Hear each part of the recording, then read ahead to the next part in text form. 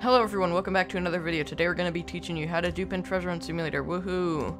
Alright, now obviously you'd want to trade your friend, because it's basically the only way to dupe in games. And you'd put the items in, and then player 2 or C Games would press accept, and then on the count of 3, I'd press accept, and he'd leave the game at the exact same time. So, like, I'm going to count down from 3, I'm going to press accept, and he's going to immediately leave the game right after. So, counting down from 3, on go, Three, two, one, go. Boom, perfect timing. Alright, now obviously you want to trade your friend, because basically the only way to dupe in games.